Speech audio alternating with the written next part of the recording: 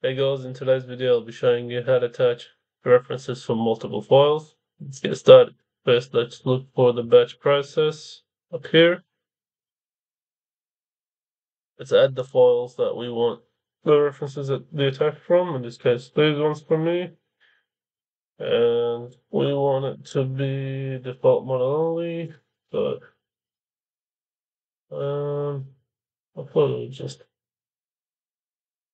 just select here, control A, apply selection. Yes, okay, that works. Let's click these three dots, select reference detach all. Now I'll show you what the notepad looks like. So you know what I'm running. In this case, reference detach all.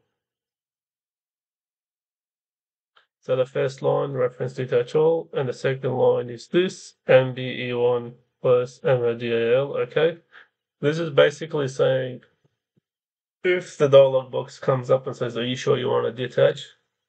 it will automatically accept it. That should work like that. All right, let's go. Now we click on this process batch process job.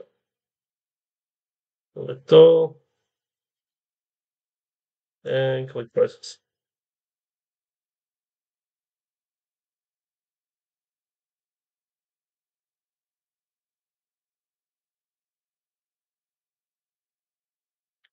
Yeah, it's like that, guys. Thanks for watching, and yeah, cheers.